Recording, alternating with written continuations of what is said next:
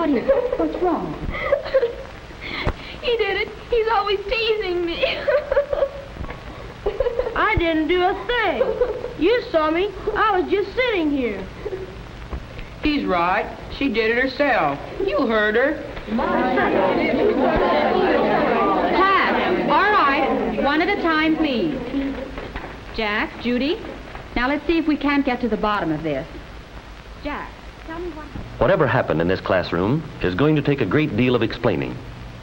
Suppose we go back to the day the trouble really started. Judy has brought with her a bottle of perfume. It was her first real perfume, and she was eager to show it to her friends. And the girls were impressed. Uh-oh, there's the bell.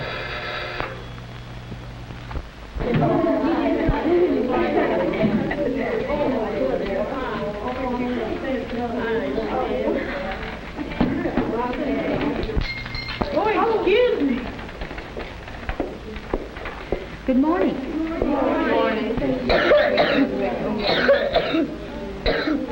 Woo-wee, stinky. oh, you stop that. All right, now, let's all find our places, please. Time for class to begin. It began as simply as that. Jack first teased Judy on impulse. Most teasing begins that way. Some of it never goes any farther than good-natured bantering.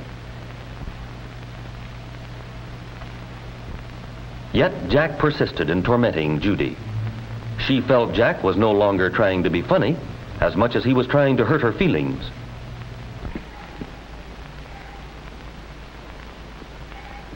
You! Stinky! Judy is a stinky!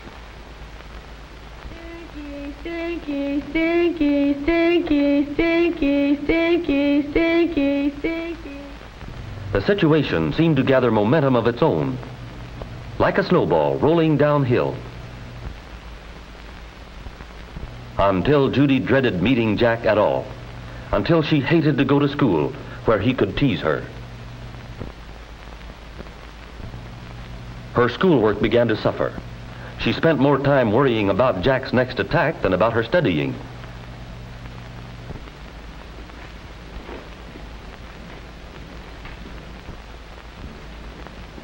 Judy, could you stay a moment? I'd like to talk with you. Why, yes, Miss Brown. I'll see you. Judy, you've been very unhappy lately. Something's troubling you, something that interferes with your schoolwork. Wouldn't you like to tell me about it? Judy, I want to help you. What's wrong? There, there isn't anything wrong, Miss Brown. I, I, may I go now? Yes, you may go. But if you ever feel like talking about it, won't you let me know?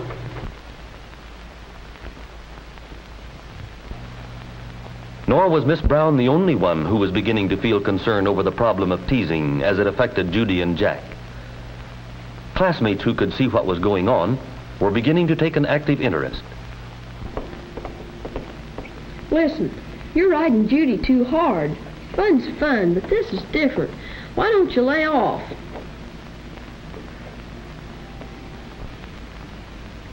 I think it's awful. I think you should have told Miss Brown what Jack's been doing. Well, I don't want to be a tattletale. Not if I can help it. But. Oh, I don't know what I'll do, but I'll think of something. Finally, one day, the business all came to a head. All right, class. Bill has just told us what he considers to be the important effects of the Industrial Revolution. The invention of the sewing machine and the invention of the cotton gin. Do the rest of you have any other ideas? All right, Judy, how about you? What do you think? Well, Miss Brown, I think. I mean, I think that. I think. There we have the incidents leading up to the unhappy situation in which Judy and Jack found themselves. The point is, what could have been done? What should have been done before Jack's disregard for the other fellow's feelings resulted in this? What do you think? Should Judy have reported Jack's actions to Miss Brown? Judy, I just want to help you. What's wrong? Miss Brown, I. Well, it seems sort of silly when you go to tell about it. And I don't want to tattle, but well, well, it's Jack Sims. He teases me all the time. I, I had a bottle of perfume one day, and it got broken so that he could smell it, and and ever since he's been driving me crazy. He, he's been calling me Stinky. Do you think bringing the problem out in the open, tattling, if you want to call it that, would have been justified and the wisest thing for Judy to do? Or do you believe that under ordinary circumstances, the problem would have worked itself out with a little more help on the part of Judy's schoolmates? Yoo-hoo, Stinky! Judy! Listen, I thought I told you to lay off. Let her alone. Why, what's it to you? Oh, you make me tired. Always hurting Judy's feelings, and just because she beat you in that essay contest. Say, you can't say that. Oh, yeah? Everybody else is.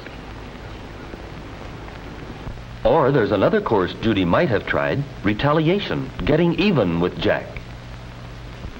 Say, what's the big idea? What do you think you're doing? Why, what are you talking about? I haven't the faintest idea of what you mean.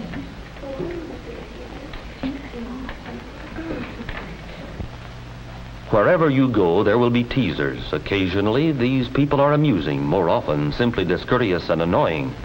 But teasers may do real damage if they ridicule others because they look or act differently, or, as in Judy's case, because they are victims of circumstances.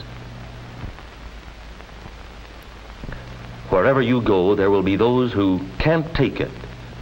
When someone is making every effort to hurt our feelings, very few of us can take it. Even if you are never the teaser or never the one being teased, you will meet this problem. There is a Judy or Jack among your friends. What should Judy have done? Did Jack know what he was doing? Were Judy? If you were Jack, if you were one of their classmates,